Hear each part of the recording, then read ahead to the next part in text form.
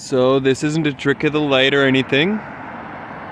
Um, the sky is literally blue.